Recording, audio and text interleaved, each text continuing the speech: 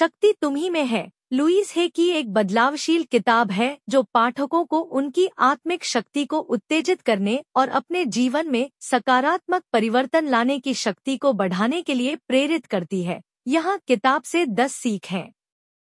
एक, स्वाश्वासन की शक्ति। हे सकारात्मक स्वबातचीत और स्वाश्वासन की महत्वता पर ज़ोर देती है। वह पाठकों को नकारात्मक विचारों और विश्वासों को सकारात्मक आश्वासनों में परिवर्तित करने का उपाय सिखाती है ताकि वे आत्म प्रेम और आत्मविश्वास को विकसित कर सकें। दो, क्षमा के माध्यम से उपचार। क्षमा एक शक्तिशाली उपकरण है जो चिकित्सा और नकारात्मक भावनाओं को छोड़ने के लिए है।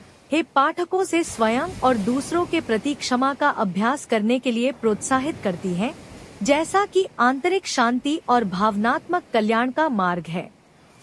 तीन मन शरीर कनेक्शन हे मन और शरीर के बीच कनेक्शन का अन्वेषण करती है, मानसिक स्वास्थ्य पर विचारों और भावनाओं के प्रभाव को हाईलाइट करती है, वह पाठकों को समग्र कल्याण के लिए सकारात्मक मानसिक दृष्टिकोण का विकसित करने के लिए प्रोत्साहित करती है।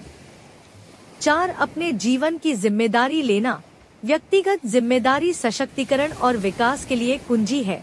हे पाठकों को अपने विचारों, विकल्पों और क्रियाओं का स्वामित्व लेने के लिए सिखाती है, जिसे पहचानते हैं कि वे अपने जीवन को आकार देने की शक्ति रखते हैं। पाँच, सीमित विश्वासों को छोड़ना। हमारी बहुत सी सीमितताएँ स्वघोषित रूप से सीमित होती हैं।